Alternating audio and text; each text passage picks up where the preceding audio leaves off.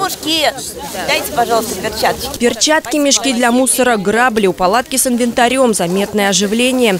Бонус для всех участников субботника – кепки и футболки. На календаре выходной, суббота, на часах еще нет и девяти, но одинцовцам не до сна. Они пришли в Глазынинский лес, чтобы навести порядок. Люди готовы? Да! Техника готова? Да! Значит, вперед на выполнение поставленных задач. По-военному слаженно участники субботника рассредоточились по Глазынинскому лесу. Для Максима Ганина, жителя 8 микрорайона, уборка территории, прилегающей к братской могиле, уже традиция. Ей около 15 лет. Не только в апреле, после майских праздников, после лета, да, вот, ну, когда пикники проходят осенью, и даже зимой наш активист Белозуб тут каждый день бегает с мешками, то есть, ну, убирает. На субботнике все равны. Граблями, пилами, кистями ловко орудовали и местные жители, и общественники, и чиновники. И глава Одинцовского района Андрей Иванов не стал исключением. Уже и порубили дрова с Михаилом Викторовичем.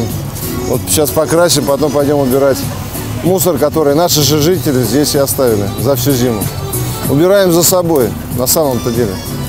Это же с неба не падает. Работа кипела не только в Глазынинском лесу. Субботники в Одинцовском округе прошли на 109 площадках. На весеннюю уборку вышли 100 единиц коммунальной техники и 7 тысяч жителей. Для многих это не просто возможность сделать что-то полезное, но и пообщаться с друзьями, коллегами на свежем воздухе и в неформальной обстановке. Ничего так не сближает, как общий труд на свежем воздухе.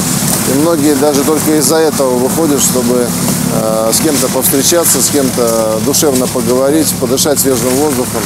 Ну и вот с таким хорошим настроением потом уйти в следующую рабочую неделю. Вход с детьми разрешен. Пришел на субботник сам, приведи с собой ребенка. Бережное отношение к природе нужно закладывать в раннем детстве. И лучше всего это делать на личном примере. Надо не только самим это делать, да, но и детям рассказывать и своим примером показывать, что экология очень важна и что надо беречь наш дом, нашу планету.